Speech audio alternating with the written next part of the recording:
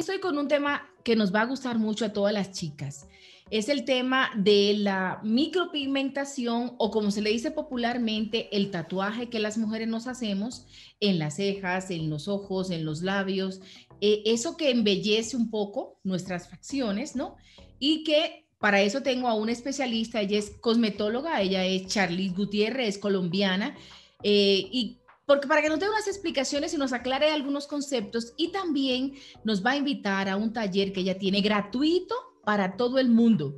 Y creo que es importante esto porque nos va a aclarar algunas cosas. Charlie, bienvenida, ¿cómo estás? Mil gracias, muy bien, muchas gracias por invitarme aquí al programa. Charlie, ¿cuál es la diferencia entre micropigmentación y tatuaje? ¿Qué, qué es eso? Bueno, como tal, la micropigmentación es el depósito de pigmentos entre la epidermis y la dermis, que es la capa más externa de la piel. La micropigmentación es depositar los pigmentos a través de los poritos, a través de la piel, para darle un diseño a las cejas, a la línea de los ojos, color a los labios. Se utiliza en diferentes técnicas, por decirlo de alguna manera. Y la diferencia entre la micropigmentación y el tatuaje no son lo mismo, se utiliza una técnica muy parecida, pero la piel se compone de tres capas, la epidermis, la dermis y la hipodermis, que es la capa más profunda.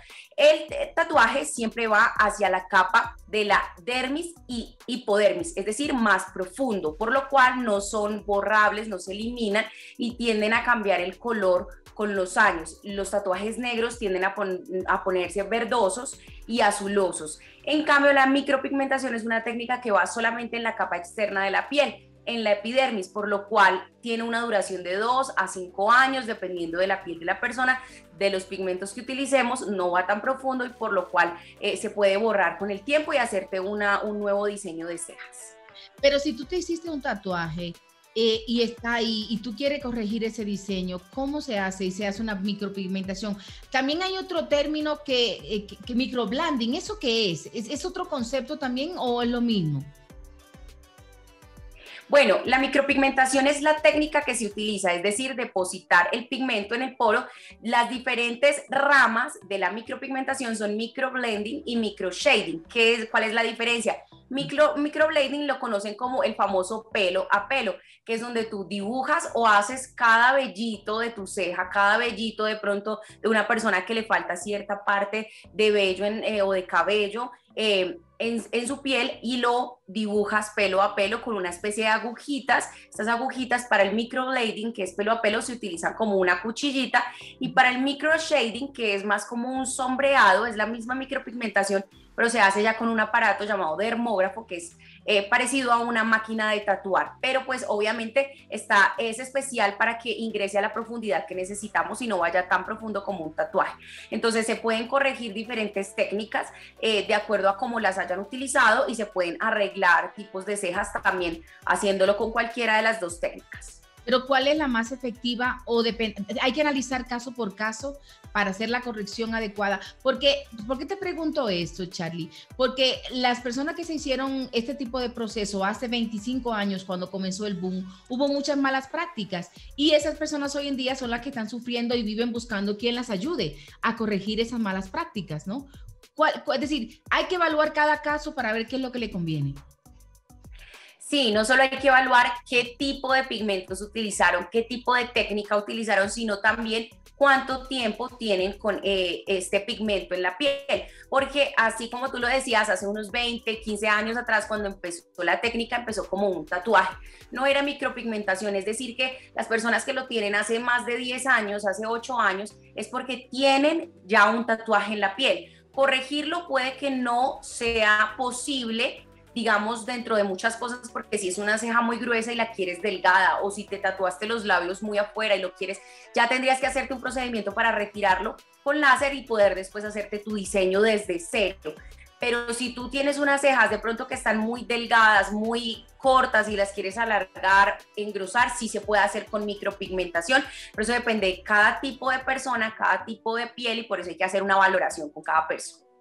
¿Qué se está usando? Antes se usaban las cejas pequeñas, es decir, hasta hace 10 años un poco más delgadas. Ahora las mujeres tenemos que ponernos las cejas un poco más gruesas porque es lo que nos da esta identidad y nos vemos más jóvenes incluso. ¿No te parece? Tú que eres una experta.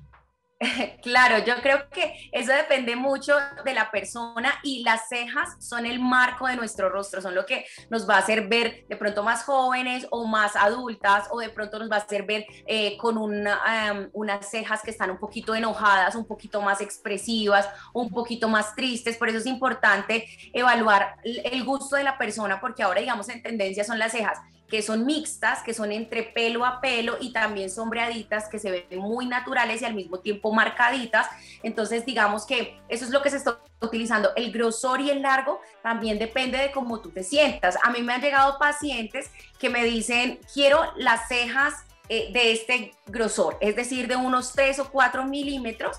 Entonces, usted es bien, o sea, estamos haciendo una ceja súper delgada, una línea, y son personas en su mayoría entre los 50 y 60 años.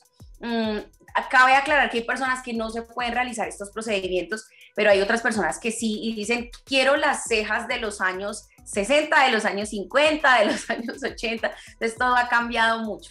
Claro, claro, por eso cada uno toca hacer una evaluación, porque esa es otra parte profesional, que ustedes como cosmeatras, como cosmetóloga, como esteticista, tienen unas medidas de qué es lo que nos conviene dependiendo del rostro. Por ejemplo, yo no, yo tengo una dimensión diferente a la tuya, o de pronto tú y yo somos un poco, parecidas, pero de pronto a otra joven que tenga otras facciones, que no le pegue las cejas como la que tenemos. A propósito, las tuyas son hermosas. Yo quiero que me las hagas así. La mía no están tan mal, pero las tuyas están bravas. no, están bien bonitas. Este también es importante, ¿no? Pero estas son pintadas y hay que hacerme el micro, el, micro shading. Eso es importante, es decir, esas mediciones que ustedes le hacen para que quede armónica a la cara, ¿no? Al rostro de la persona. Sí, digamos que esa técnica se llama mapeamiento facial o visajismo porque todos los rostros tenemos, digamos, el, rostro se divide, digamos, en cuatro partes, tres partes, según cómo lo vayamos a utilizar, pero todos tenemos dimensiones diferentes y facciones diferentes, que es lo que hace, digamos, la identidad de cada persona.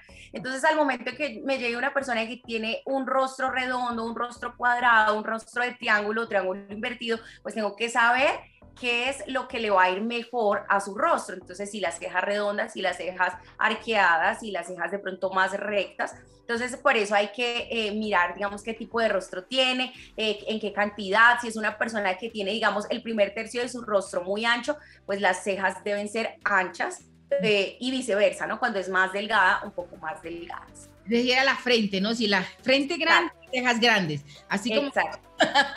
Oye, sabes mucho. ¿Dónde la gente puede seguirte? El que quiera saber más sobre ti y cuéntanos sobre el taller que vas a impartir gratuitamente este sábado primero de mayo. Bueno, es un curso gratuito, como tú lo mencionabas, de micropigmentación para que las personas puedan aprender sobre la historia, la histología, sobre el correcto uso de estas técnicas, cuántas técnicas hay, qué profundidad hay que utilizar.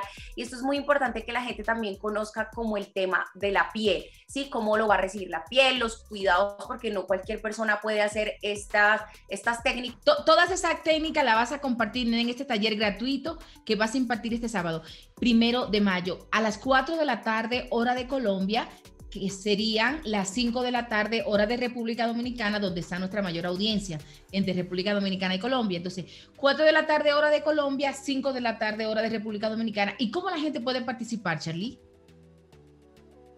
Bueno, es muy fácil eh, a través del WhatsApp, del WhatsApp 3 más 57, porque como tú lo dices, hay personas en otros países y esto lo pueden tomar en cualquier parte de, del mundo de habla hispana. Eh, y en este número, el 314-365. Pero mira cómo lo hacemos más fácil. En Instagram, lo ideal es que la gente vaya a tu Instagram al Instagram. Ah, bueno, sí. Y de ahí de Instagram copian el número que está en la biografía y pueden participar en, el, en este taller. ¿Te parece que es una mejor idea? Me parece perfecto, hacerlo mucho más fácil. Entonces las personas pueden ir a arroba beauty rostro perfecto, escriben beauty rostro perfecto en Instagram y ahí me van a encontrar a mí los diseños que he hecho y ahí en el número ustedes le dan clic en el botoncito donde dice WhatsApp y ahí los dirige de una vez, les da el link para que puedan ingresar. Entonces, sí, como tú lo dices, es súper fácil. Van a Instagram, arroba beauty, rostro perfecto, y ahí encuentran el WhatsApp y ya se pueden, digamos que, dar clic. Claro, yo voy a estar ahí en primera fila porque a mí me encanta todo esto de la belleza, decir, y parte de lo que hago como periodista también es como motivar a las mujeres a que se mantengan bonitas. La belleza siempre va a sumar, nos va a sumar alegría, nos va a sumar muchas cosas. Entonces, qué bueno que podamos mantenernos bella y sobre todo una cosa, Charlie, compartir los truquitos de belleza que hemos experimentado algunas para mantenernos bonitas con las otras, ¿no te parece? Claro, eso es muy importante. Además, uno como mujer, tú sabes que se preocupa mucho por el cuidado de su piel, por verse bien, por estar en tendencia, por tener eh, diferentes tipos de moda actual, etcétera. Entonces, súper rico. Así que los espero a todos, hombres y mujeres. Va dirigido a todo público que nos acompañen este sábado primero de mayo a las 4 de la tarde, hora Colombia, 5 de la tarde eh, de acá de. Exactamente. Exacto, de República Dominicana. Y así. Eh, puedan compartir con nosotros todos estos daticos y ustedes también puedan emprender, aprender y tomar estos daticos que de pronto nos van a beneficiar muchísimo. Total. Beauty Rostro Perfecto es el Instagram de esta cosmiatra, cosmetóloga experta, además de muy guapa, que nos va a compartir muchas técnicas de belleza seguro y de esta nueva forma de mantener nuestro rostro que, con la micropigmentación que ahora, Charlie, con lo de los bozales que tenemos que usar, nada más se nos ven las cejas y los ojos, entonces qué bueno tener unos cejas y unos ojos bonitos, ¿verdad?